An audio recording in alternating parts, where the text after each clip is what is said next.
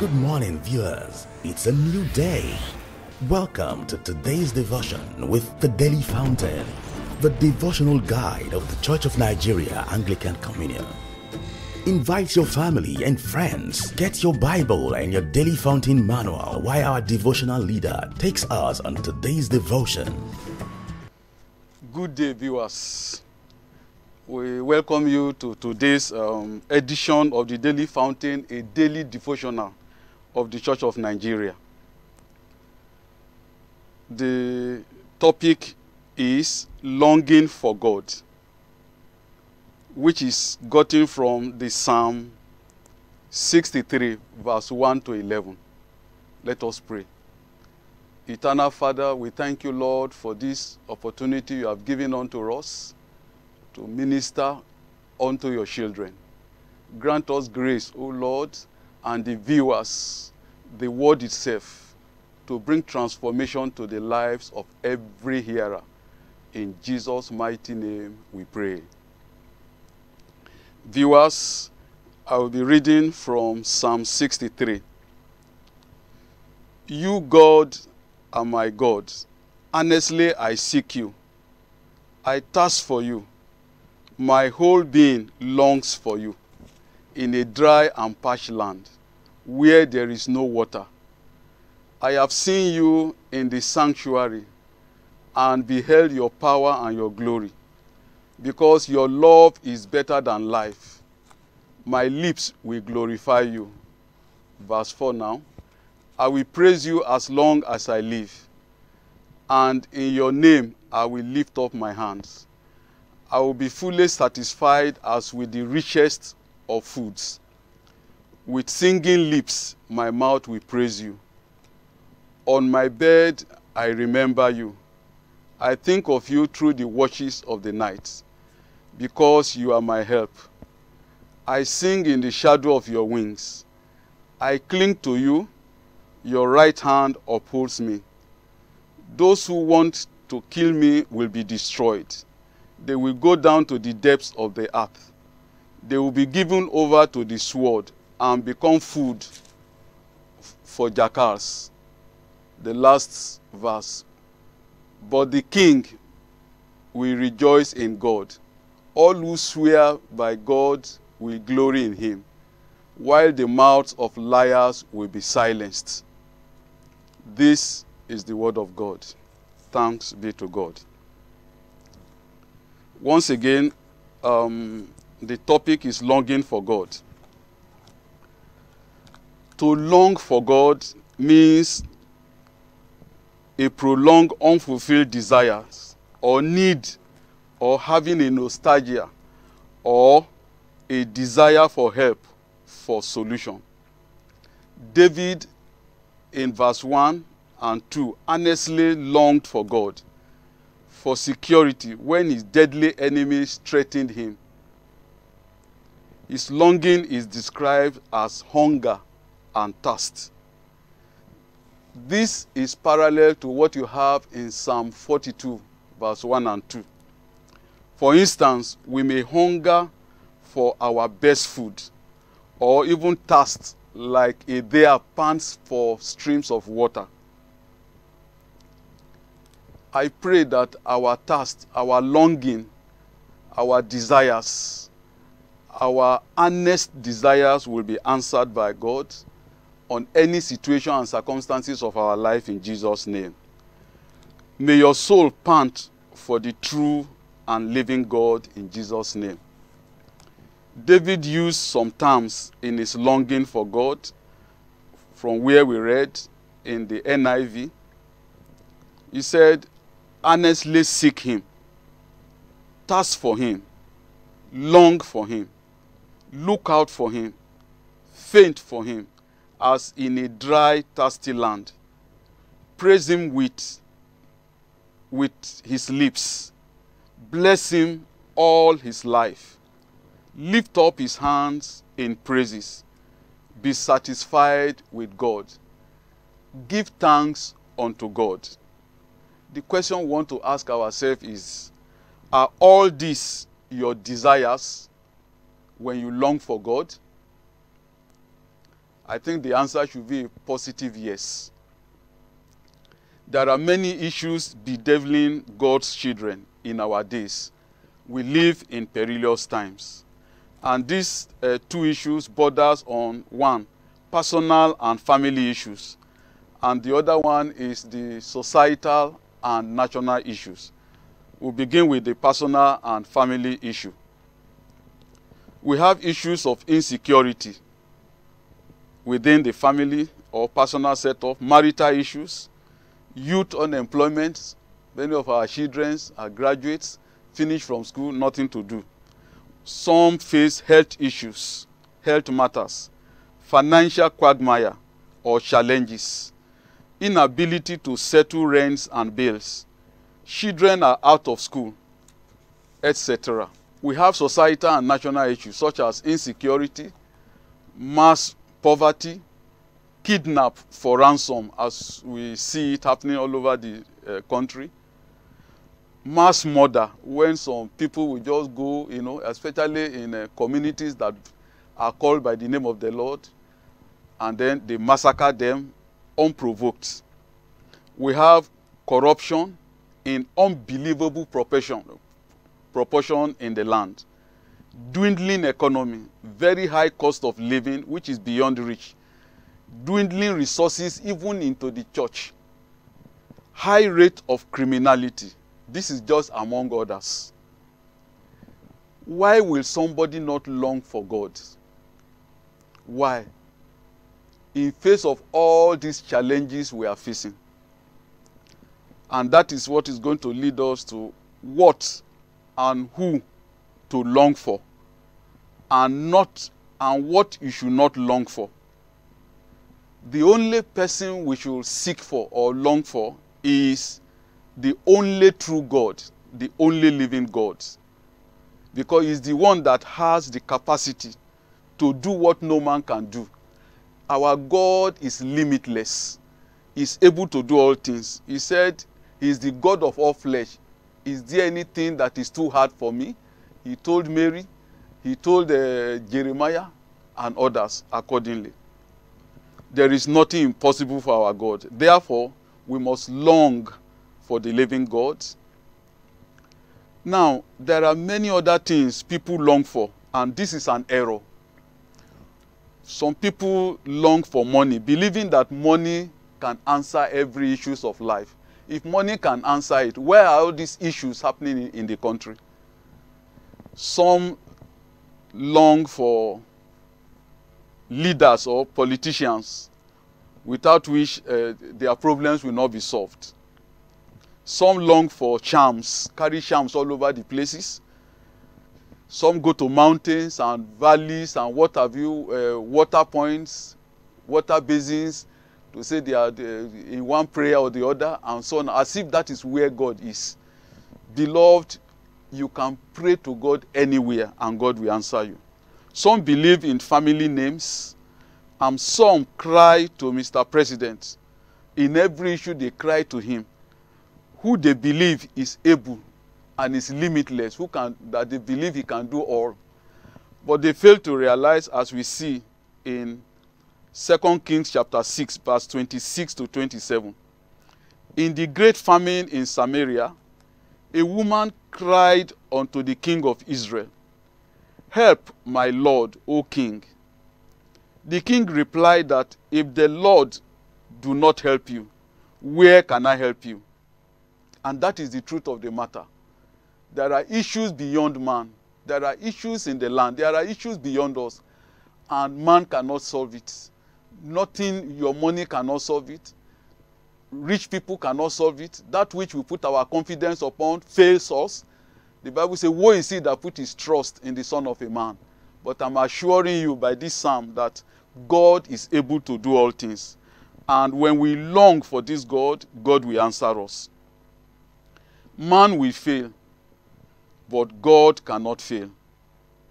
As a people that long for God, for God's intervention, cry unto him, for he will show mercy and he will overrule every evil plans, policies, and situations that makes us to be discouraged or makes us to feel as if we have no help.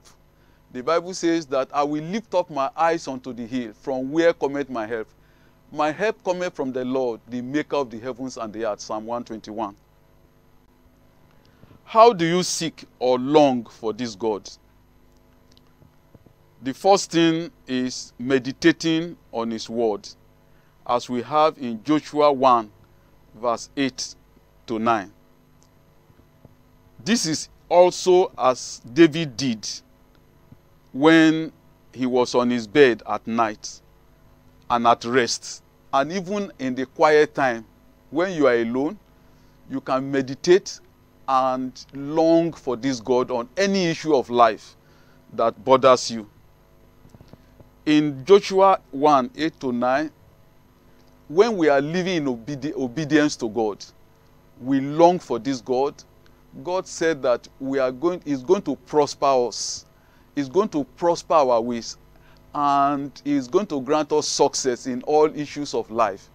When you long for God in righteousness, honestly, heaven will be opened unto you. And I pray heaven will be opened unto you in Jesus' name. Secondly, we must seek for God day and night and be still before Him. They that seek Him will find Him, if they seek Him with all their hearts. We have that in Jeremiah 29, verse 13.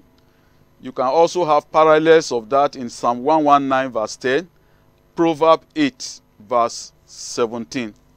The third one is that you should develop a personal and deep relationship with God, knowing fully well that we live in perilous times. Verse 8 of Psalm 63, where we read, is a pointer unto that. That was what David did. David developed a personal, deep relationship with God. It reminds me of Moses in his time in Exodus chapter 33. God even testified that he spoke mouth to mouth, even with Moses.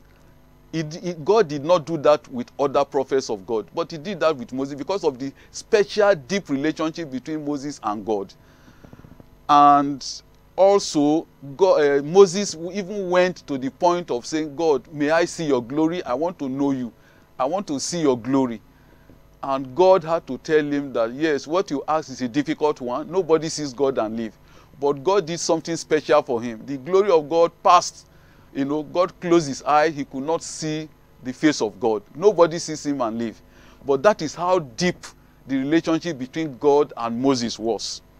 I pray that in our longing, our relationship with God will be deep to the extent that on daily basis, always, we shall always want to be in the presence of God. And so shall it be with us in Jesus' name. Fourthly, we can hunger and thirst for God's righteousness, both in prayer and by the word. Matthew 5, verse 6 says, Blessed are those who hunger and thirst for righteousness, for they will be filled. The question I'm asking is that you that is longing for God, do you thirst for righteousness? Are you hungry for God? Do you thirst for this for the living God? And I expect a positive answer from you because you belong unto God. Fifthly, live an obedient life. Trust God with unflinching faith. We have that in verse 3 of Psalm 63, where we read, Live obedient life. Trust in God with unflinching faith. They that put their trust in Him can never be put to shame. In fact, the Bible says they are like Mount Zion that can never be shaken. I pray as you long for God, your faith will be unshaken in Jesus' name. Sixthly, let thanksgiving and praise always be in your mouth. We have that in verse 5 and 7. Somebody who finds time to praise God, somebody who have time to give thanks unto God always will definitely long for the living God. In verses 9 to 10 of the psalm where we read, the psalmist prayed for the demise of his enemies.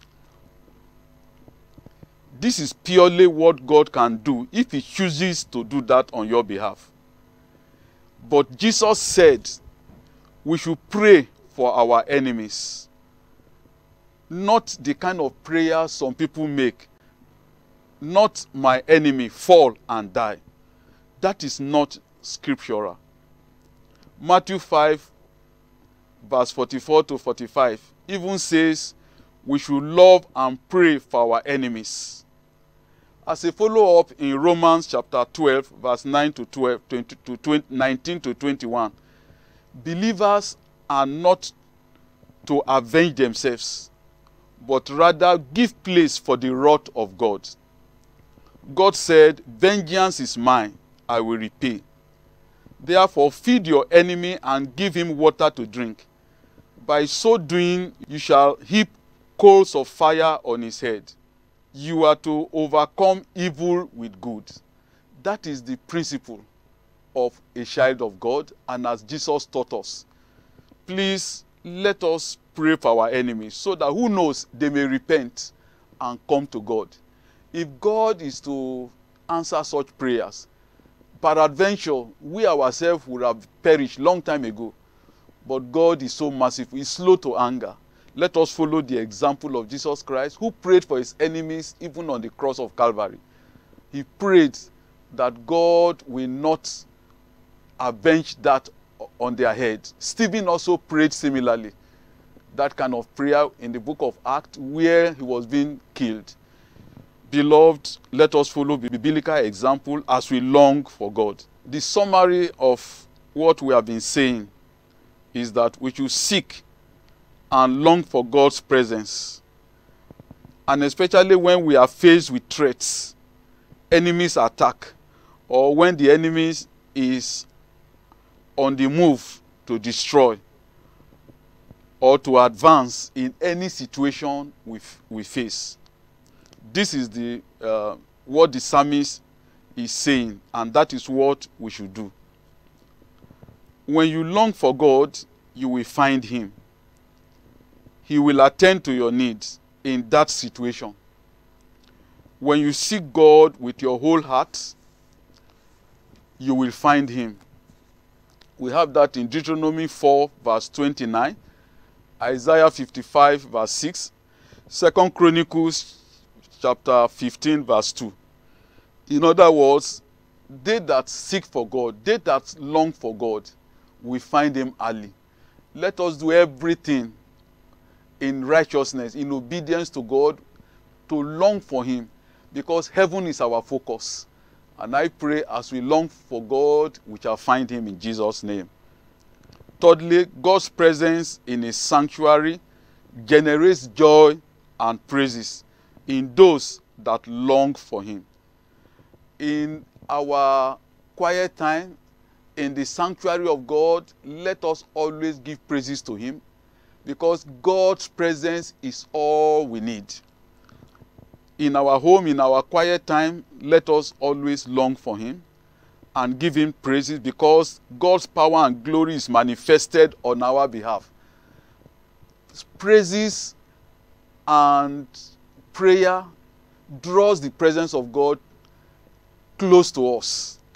When we praise God like uh, Jehoshaphat did, he praised God and the battle was won by them. He believed the prophets, and then they were going in a battle against the Moabites, against Mount Seir, and the Bible recorded that they were going into there with praises, with joy, and God turned the battle against their enemies, and they, they annihilated the enemies promptly.